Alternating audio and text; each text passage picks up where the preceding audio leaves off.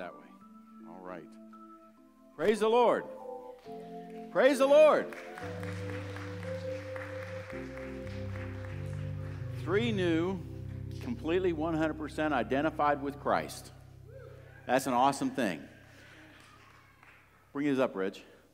We have um, baptismal certificates for you, and then we have we are giving you a new Bible, each one of you. Eileen, there's yours. We trust that you will read these. Mr. Gabe, take that one right there on top. And here's your certificate. Make sure your mom and dad get that. Elijah, you did it, girl. And there's and there's your Bible. I hope you like pink. All right, let's give them a big hand clap and give the Lord a clap. Amen. Awesome thing. Woo! Thank you all. Kiddos, you guys head to your classrooms. Youth, head on upstairs. Praise the Lord. If you don't mind.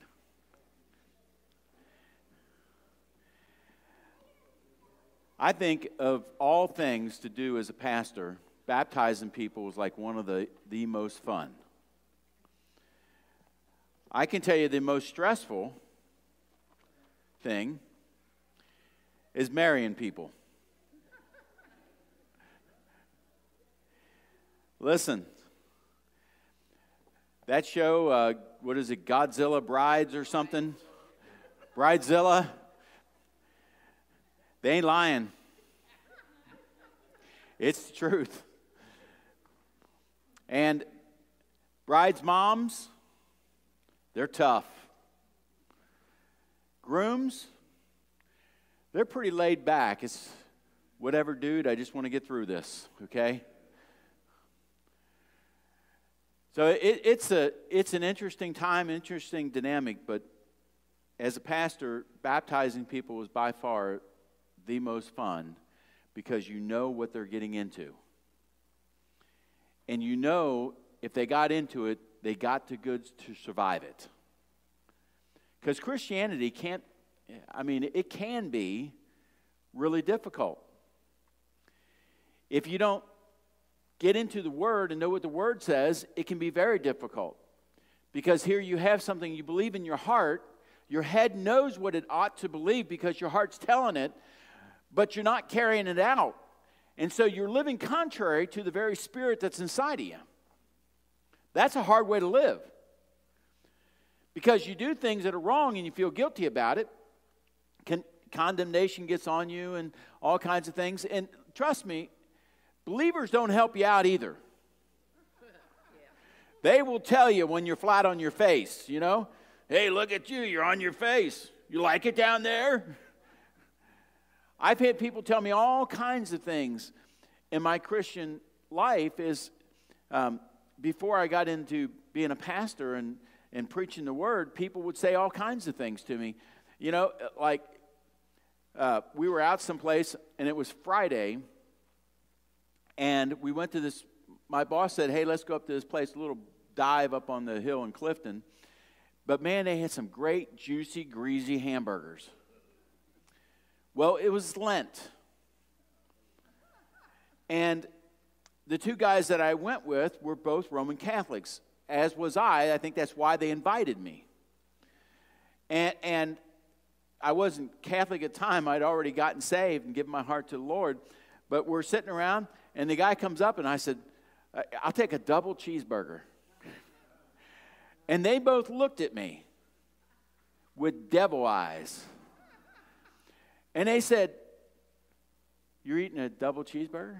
I said, Man, they got the best ones here. I'm glad you guys said we should come lunch here because this is great. And, and so it came, I start biting into it. They're eating their fish sandwich. And, and so I just kept eating, and I wasn't thinking about it, or I probably, truthfully, I probably wouldn't have done it had I been thinking about it. No, I, I probably would have had mercy on them. There was a time I would have done it out of spite, but, but I would have had mercy on them.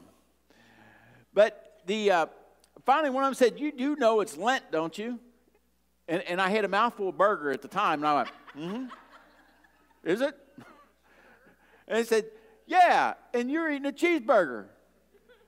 And I looked at him. I looked. I said, "You're eating fish." And I smiled, and they said, Well, we thought you were a Catholic. And I said, I gave my heart to the Lord Jesus Christ, and, I, and I'm not bound by any of those rules anymore. And I said, You can do the same thing I did, and you won't have to eat fish on Friday. it was a quiet rest of the lunch. We as believers, though, we, we go through our life and we, we need to know how to live. Now, the word tells us in Ephesians 4 4 through 7, it says, There is one body and one spirit, just as we are called in one hope of your calling, one Lord, one faith, one baptism, one God and Father of all, who is above all and through all and in you all. But to each one of us, listen to this now, to each one of us, to each one of us. Let me slow that down. To each one of us. Grace was given. To each one of us, grace was given. Grace was not given to the church, and then the church had to divide up grace in a million different pieces and pass it all out to everybody. To each one of us, grace was given. But it wasn't just grace given in, in little drops, it was grace given, grace given according to the measure of Christ's gift. Think about that now. How big was Jesus' gift to your life? How big is it? Richard said, not measurable. Anybody else has an adjective? You have an adjective that describes how big was the gift? Monumental. How big? I heard another voice back here. How big? Infinity. Infinity, right? To infinity and beyond. It was that big. So grace is poured out to us according to that measure. According to that measure. Not according to our measure. I'll give you a dirty little secret. It's not even according to the measure that you think of you. it's not according to the measure you think of yourself, even. It's according to the measure, get this, according to the, God gives to you, you, right where you sit, just like you are today. God gives to you a measure of His grace according to how He thinks of Christ. Whoa. Whoa. That yes, Sandy says swimming. Yeah, you're in it. Now, you saw baptism, right? Baptism, it says there's one baptism. You don't have to be baptized for a whole bunch of things, like, you know, you sin this week, you joined this church, you joined that church, you got to be baptized again because you got to be baptized. No, no. Listen, we're all baptized in the one body, one Lord, one Savior, one faith. The word baptismo means to be totally surrounded by. It is the picture of dropping a pebble into the ocean. It has water all around it. Only for the believer, the water's not just all around it, around us, the water is also inside of us. So when we are baptized into his grace. His grace is on the inside of us, His grace is also surrounding us. Let's not use the word grace because you might get confused about that and think it's something, you know, uh, that you can't even fathom its meaning. Let's use the word favor. In the Greek, it's uh, charis, C H A R I S, charis. Charis means to have a full implementation of favor. In other words, you have somebody's favor. It is, it's not just that you have their favor, it's fully in, implemented into your life. So if Paula here has the Lord's favor, he had, the Lord isn't sitting over there saying, Well, yeah, I like her. I favor her. I like her, her, her wavy black hair. You know, I like that she's married to Rick. I'm not sure how I feel about him, but I, I do like her. no, he loves Rick. he, he, doesn't, he doesn't just favor Paula from over there, he fully implements the favor into her life. So it's the favor is not over there to at her, the favor is on her, inside of her. It's around her. God favors you even when you don't feel like you are favorable. God still favors you. And He still favors you with the same measure of favorability. Yeah, but you, you can say that because you're a pastor and you're holier than everybody else. shot full of holes maybe more than everybody else. But I'm not just saying it because I'm a pastor and this happens to be the position that I hold within the body of Christ. I'm saying it because I've realized that as a believer, God's favor surrounds me as one who is face planted a few times in my life and been the righteous man that falls seven times or eight or nine or ten or twenty and yet rises again, God's favorability on me is still there regardless of where I've been. And it's still in the same exact measure of what He gives out, not what I can entrust or hold in my own being. God favors me, and He favors you. And He favors you. Well, how, how big is that grace? How big can that grace possibly be? Well, there's a few people in the scriptures because we, you know, sometimes we, we say, well, yeah, but, you know, how big is that really? Well, when the whole earth, the whole earth was wicked and evil. I'm not talking about there was a couple bad apples. I'm talking about the whole earth. In fact, in Genesis 6, it says that every man's thoughts and intents of their heart every man, every man, thoughts and intents of their heart. Man, that's bad. That's worse than south side of Chicago. It's worse than Harlem. Yeah, East St. Louis. Pick the worst city.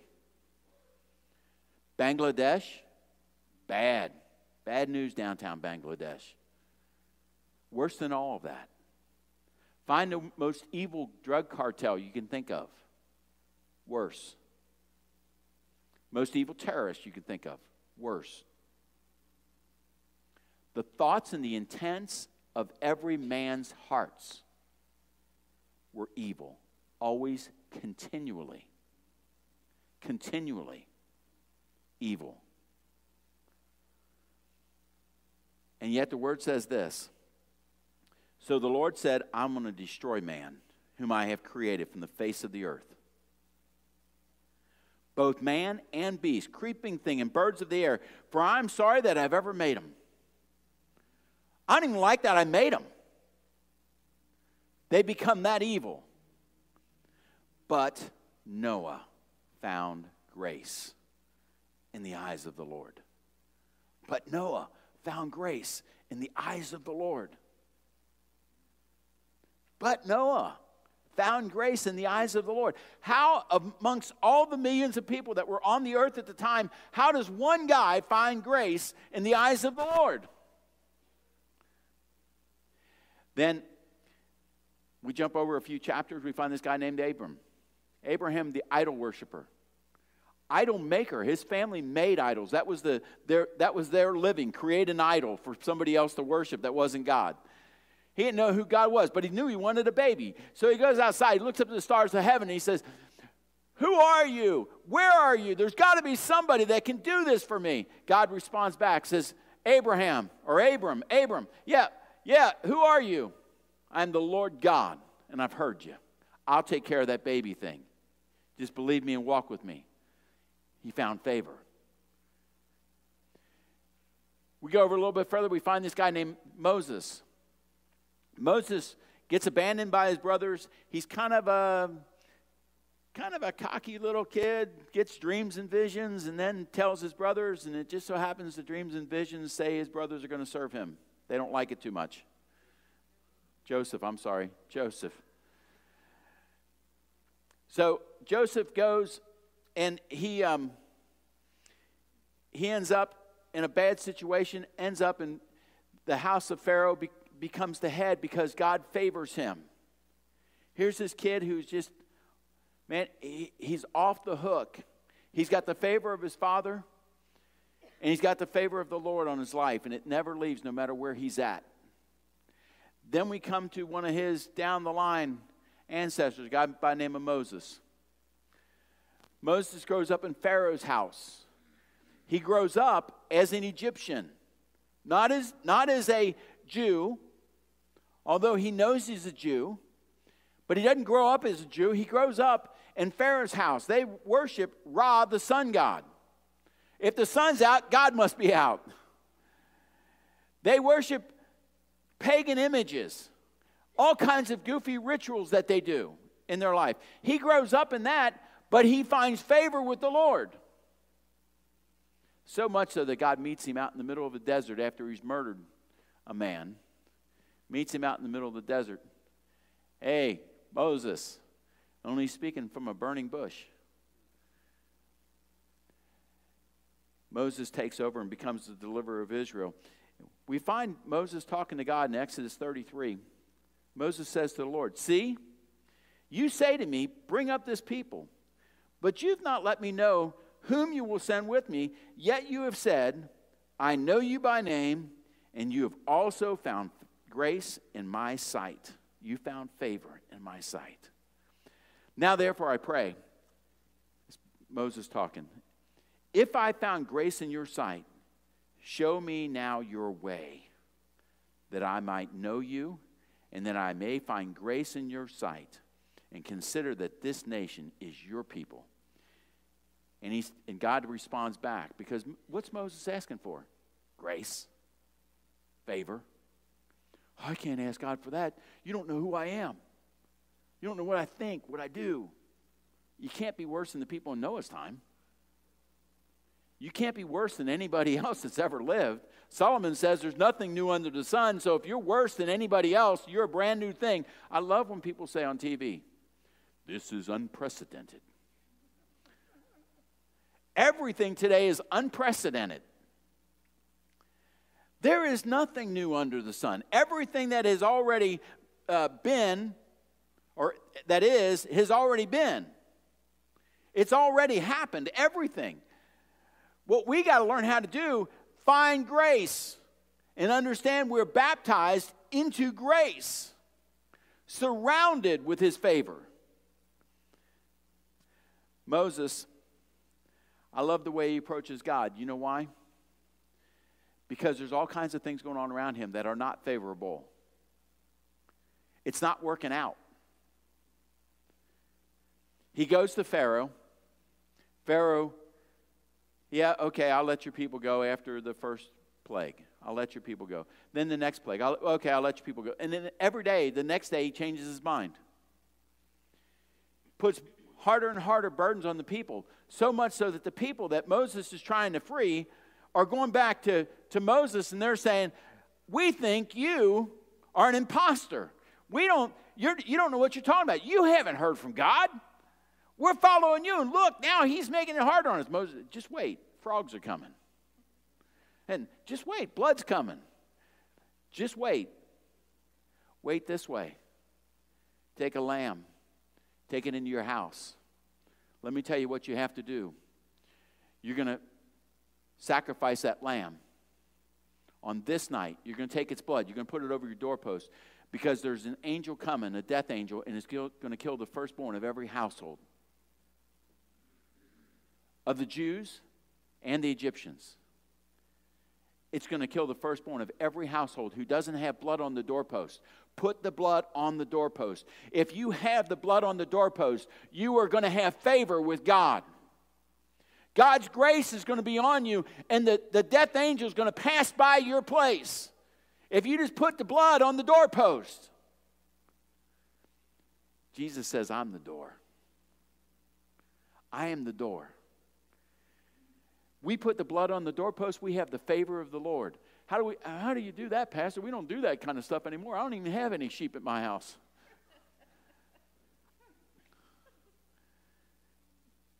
You don't, that's the great part. You don't have to do it anymore. God put the favor so much on those who believe that it's already done for us. The blood is already on the doorpost. The favor of the Lord has already been given. The lamb has already been slain. Then God tells Moses, He says, Listen, I will favor you. In fact, I'm going to go with you. Because one of the Moses' complaints to the Lord, he says, Listen, you know, we're out here in this desert. You, yeah, you plagued them and all that. You killed the Egyptians in the water. But now look, we're out here. The people are complaining because they don't have water. Then you give us water. Okay, but we got to drink water out of a rock. Oh, Lord, listen, I know it's great that we're out here and everything, but we got this stuff called manna. We're eating it every day. Yeah, nobody's sick. Our clothes aren't wearing out. It seems like we have your favor, but these people are going to string me up because they're tired of eating this bread stuff. They want a carb only diet. So they're eating manna every single day for breakfast, lunch, and dinner. God says, What do they want? They just want a few quail. God says, Okay, I'm going to give you quail, but you got to eat all the quail. What I send you, you got to eat. You're going to have favor with the quail. They got up the next morning. There were quail, so many quail, all they covered the ground. It said that they ate quail in so much abundance that it was coming out of their noses. They had eaten so much quail. The people were sick and they were like, Give us some manna. So God is listening to Moses' complaint. And Moses, at one point in time in, in Exodus 34, says, Listen, God, I know we're stiff necked people. I know you're stiff necked people. We, we, we, we are stiff necked. We, we are hard headed, he was telling God. God, we're hard headed. Anybody here been hard headed? You dig your heels in? I think everybody has. Betty says to me all the time, You just want your way. I said, Yeah, in 43 marriage, I never have. Gotten it, that is. we can be hard headed. And that's exactly what he's telling God. Listen, I know we're stiff necked people, but if you don't go with us, we're not going. If you don't go with us, God, we're not going.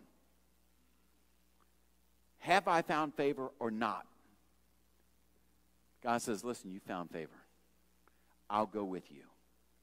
You know what Jesus told us when he departed from the earth? You found my favor. Not only did Jesus say, You found my favor and I'll go with you, he said, You found my favor, I will go with you, even to the ends of the earth. I'm never, never, ever, never, ever. Fact, the term, when Jesus says, I will never leave you, the term in Hebrew, the verb tense that's there, means never, ever, without any possibility. Never, ever. There's no possibility will I leave you or forsake you. I will go with you, but it cannot be reversed. If I'm going with you, you can't reverse me going with you. It is, it is a thing that I'm doing, it can never, ever stop. Well, wait a minute. What if I decide not to go with the Lord? Okay. Because as you're walking, you know, He said turn right, you turn left. God goes, whoops, we're taking a turn. And He's right behind you. You ever get yep, this word, backslidden? I, I, lo- I love, I, I can say this because I used to do this, okay, as, as a pastor. We have a special invitation right now for the backslider. If you're backslidden in the church and you're away from God, your life is trashed. You feel like a dirt ball. Don't be embarrassed right now, but stand up and come forward.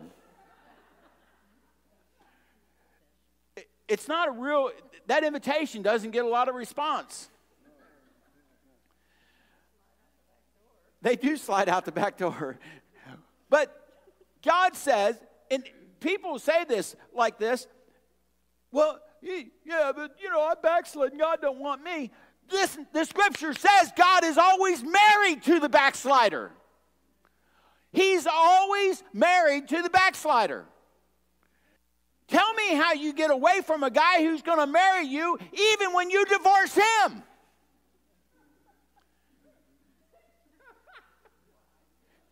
Think about that. Get that down in your head. You're trying to get rid of him, and he won't leave you. You say, Well, I'll get a protective order. Where are you going for that? To hell? They ain't going to give you one either down there. Because God is always married to the backslider. God is going to be with you always continually 100%. He cannot, because of his own promise, he cannot leave you or forsake you. He cannot. Well, what if he wants to? It doesn't make any difference what God wants. He says, I will always do my word. I cannot not do my word. Book of Hebrews implies for us that if God ever once lies, ever once lies, if God ever once lies, he would cease to be God because God cannot lie. So if God could lie, then God can't be God if he could lie. Wow. So if he can't lie, in his word, if he cannot lie without taking himself out of the position of being God, and if all the world is held together by him, all the universe, it says that every single part of the universe is held together by the person of Jesus Christ. What happens if God quits being God? Everything, your life, my life, this earth ceases to even exist. That's how strong the promise of God is to His Word. Psalm 5, verses 11 and 12. But let all those rejoice who put their trust in you. Let them ever shout for joy because you defend them. Let those also who love your name be joyful in you, for you, O Lord, will bless the righteous. Now, listen to this line because this is what I want you to understand about what God does for us. With favor, you will surround him as with a shield. With favor, you will surround him. Who? The righteous. who is the righteous? If you've been here, you know it's us. It's us. Because the word says that we, we believers, are the righteousness of God in Christ Jesus. So if you are in Christ Jesus this morning, you are the righteousness of God. You are the righteousness of God. You are the right standing of God. When God says, Give me an example of right standing, He points. Yeah, He points to Charles. Richard said, Bypass me, I'm not. No. he points to Charles and he goes, Righteous. That's a great example of righteousness. Then he looks at Don, the righteousness. Yeah, and Richard's going over there. Yeah, I knew he was going to skip me. No, righteous. Righteous. God looks, if you looked in God's dictionary, any single one of you, if you looked in God's dictionary, you look up the word righteous, you're going down, and get to righteous, righteous. You go over to where the dictionary, and there's a picture of you there. And you look and you go, that can't be me. And, and then, you, then you start reading it. Kay Briggs, most righteous, child of the Most High God, gave her life to Christ, and it got a date in there. And she followed the Lord. And she, she sought in her heart to seek His Word. She discovered new things. And it, it starts listing the whole list. Oh, Pastor, you don't mean that. You, you, God doesn't do that. Book of Malachi. Book of Malachi, chapter 3. After all the stuff about tithing and all that kind of stuff, it says, Then those, then those who believe the Lord cried out to him, talked to him. And it says that God caused a book of remembrance to be written about what they were saying to each other about God. Yeah, it says it, doesn't it? The word says that he has your name engraved on the palm of his hand. How often do you look at your palm? Not very often. What, what if the name of your kids was on the palm of your hand? And he says sometimes you get their imprint on the palm of your hand.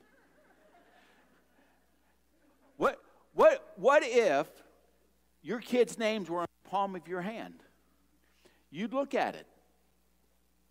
I see people with tattoos of their kids and that on their arms and stuff. That's probably a better place than on your back because you can't ever see them back there. But get, you know, what if they were on your palm of your hand? You'd, you'd look at them. God has every single one of his children written on the palm of his hand. He knows the palm of your hand is right there in front of you. You can look at it anytime. God has caused the angels to write a book about what you say about him. And when you talk to other people about him, the book is written. When you go to your name in the book, when you're running down your name in God's book and you find righteous there and you go over and you find your picture, it's not just your picture, it is everything that you have spoken about God as you've spoken about it. Well, I've said some horrible things about God. I just, oh, what if He's written them down? Yeah, except God doesn't record those things. It says the implication from Malachi is he only records the things that you say about him that are favorable to him, and he responds back by returning favor to you. So, everything that God does for you, God does to bring favor into your life. When this says that you are surrounded with favor, you will surround him as with a shield.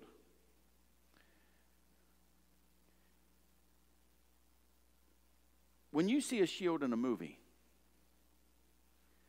did you ever watch any old movies? Roman movies and stuff like that where they're fighting and they got shields and swords. Where's the shield at? Right here, right? In front. What's it do? Protects you. from swords, arrows, knives, whatever else is being thrown out there on the battlefield, right? It can also be used as a weapon. Push your enemy back, right? So you can strike him. What happens when the shield surrounds you? You can't get to you. You're invincible. The darts of the enemy cannot get to you when you are surrounded by the favor of the Lord. Your life, your life becomes a life that is impervious to evil. Well, yeah, but Pastor, I know a lot of good people, and they, they've had evil things happen to them. Your life is surrounded with a shield. When you have the favor of the Lord, there are things in our life we will never understand. But I can promise you that every believer surrounded with the favor of the Lord, their life is protected. Their life is protected. Now, I don't know what goes on in some people's lives. Neither do you. We couldn't even judge. What I do know, the word says, it's appointed on the men but once to die. After that, the judgment. It's going to happen to everybody. Bad things are going to happen to good people. Well, Pastor, I thought when I got saved, bad things are going to quit happening.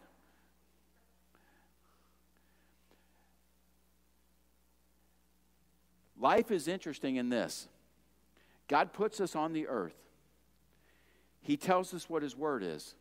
He tells us all the good. He tells us how things will work in every direction. Tells us He protects us, He'll never leave us nor forsake us. Tells us we're going to heaven. Promises us we're going to heaven. We, we have all kinds of teachings about the ultimate place we want to be is heaven. All that. And then as soon as somebody goes to heaven, we try and figure out why they went. We want to know what they did wrong, that they went to heaven.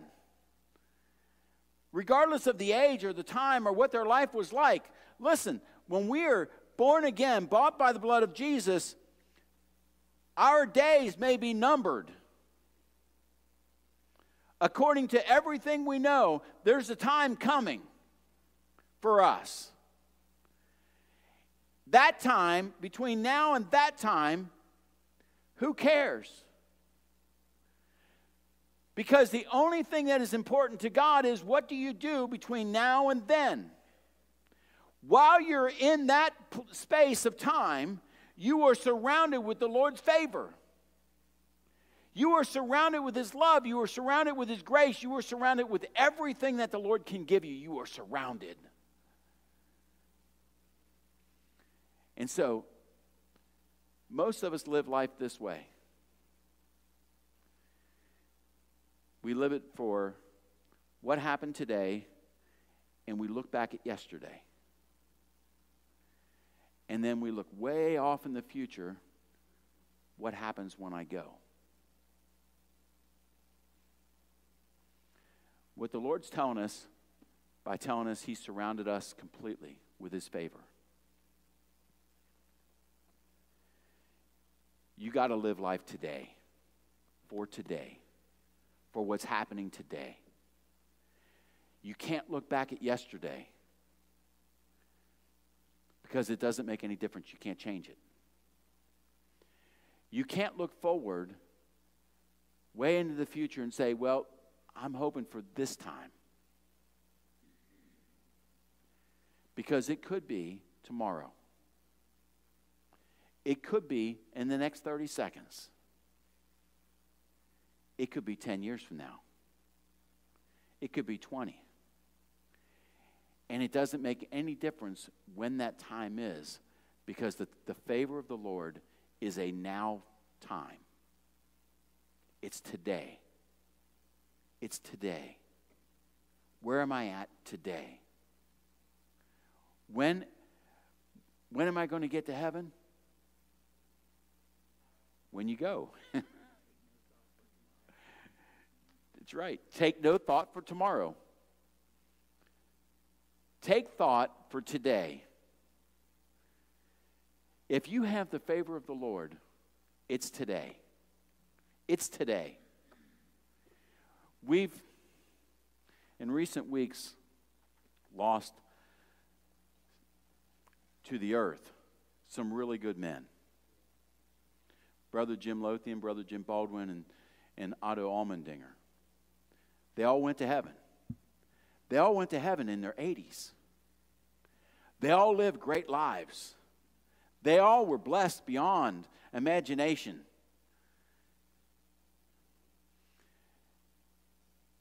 I had somebody ask me, they said, when are all the bad times going to, when are all the bad things going to stop? And I said, well, what bad things? Well, you know, those, those guys going to heaven. I said, what was bad about it? There wasn't anything bad about it. It was good because it's a reminder that the promises of God are 100% in play. We are surrounded by His favor. That's why we had those guys. We are surrounded by His favor, and they were surrounded by His favor. That's why. Because they were baptized in the Lord's favor. That's the reason why we could have the services that we had to commend them home.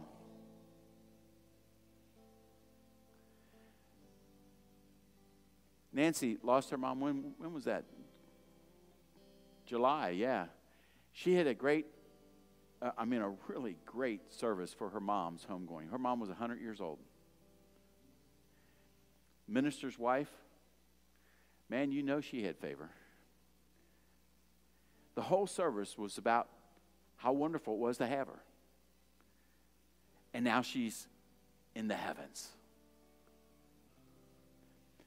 You see,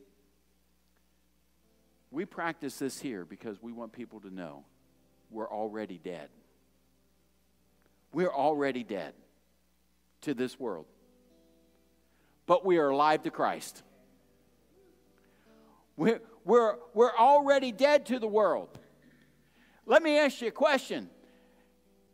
If there's a, if we had a, a casket here right now and we had a dead person in it, and you walked up and you cussed at the dead person, do they care? Can you offend them in some way? If you mooned them right there, would, would they be upset?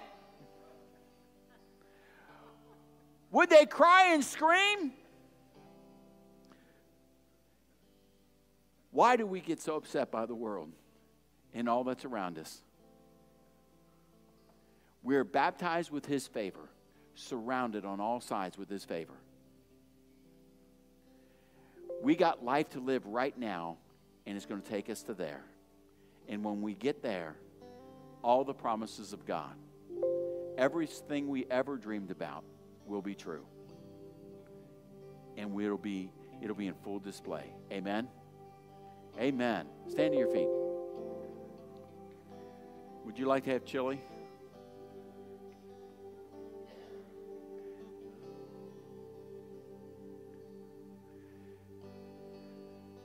We've got a bunch of food over there in the gymnasium. We're going to eat and we're going to celebrate these folks who got baptized, fully identified with Christ. Fully identified with Christ.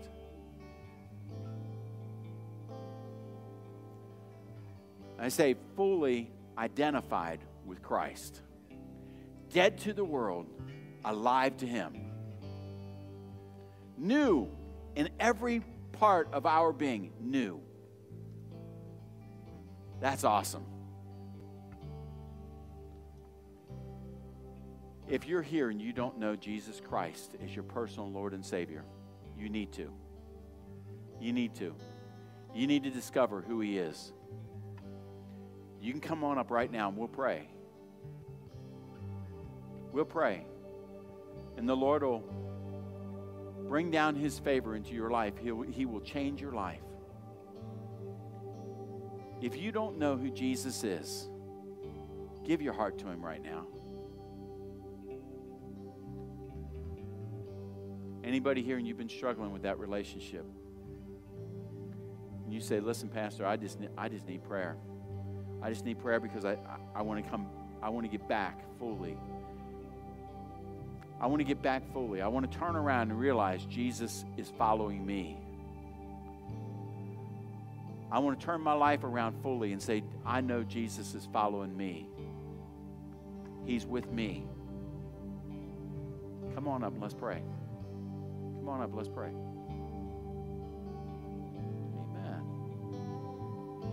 Anybody else? You want to, you want to pray? You just want to pray and say, I, I want to I want to get back all the way. I want to know that Jesus is there with me. I want to know it. Everybody else okay? All right. We want to pray. We want to pray. What's your name again? Jana? Jada. It's Jada. Amen. Corey? Jennifer. Jada, Corey, and Jennifer. Man, uh, you guys are all related. All right. Fiance? Yeah, this is Miss Pickett's son. Let's pray. You guys ready? Give me your hands. Let's pray. Heavenly Father, in the name of the Lord Jesus, Jada and Jennifer and Corey, Father, they all come. They all come to you right now, Father God, not realizing you've been following them closely. You are right behind them. Father, you've always been right on top of them, Lord God. They just never stopped long enough to turn around and find out you were there. Father, right now, they realize your presence is with them. They realize, Lord God, that you are surrounding them with your favor, that you are embracing them, loving them, forgiving them, holding them. Father, that you are building them up. Father, for their wonderful, magnificent images of Christ. Father, I pray, Father God, that you would just bless their hearts.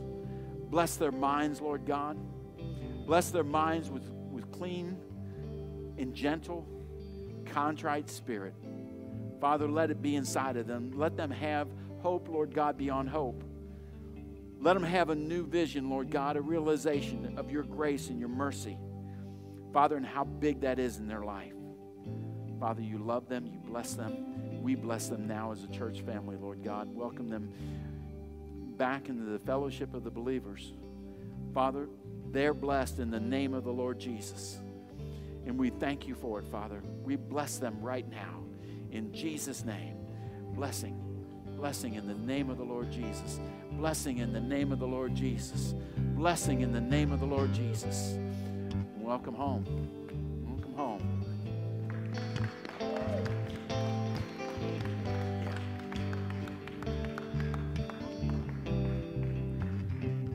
This will help you out. Here's a little book. This will help you out.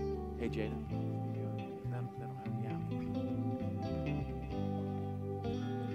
Praise the Lord. Praise the Lord. Amen. Amen.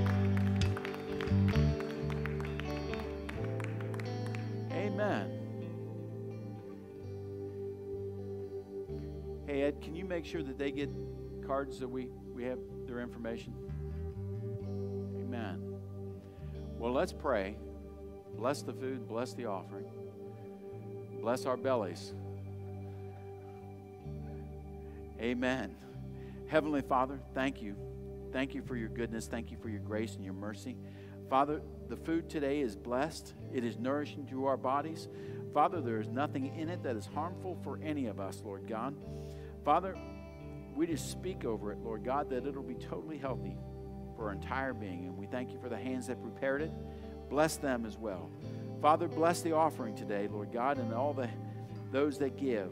Father, bless them abundantly above all that they're able to ask or to think. Father, bless them to receive it because you pour it in, Lord God, bread upon the water in waves of blessing. Father, we thank you for it. We praise you for it. Thank you for the people today, Lord God, who've come to watch, come to be baptized, come, Lord God, to give their hearts back to you and, and to embrace your, your, your abundant life around them. Father, we thank you and we praise you and we give you glory and honor in Jesus' mighty name. Amen. Amen. Join us in the gymnasium for some good grub. And jump online on Wednesday night. Man, we have got a great class going.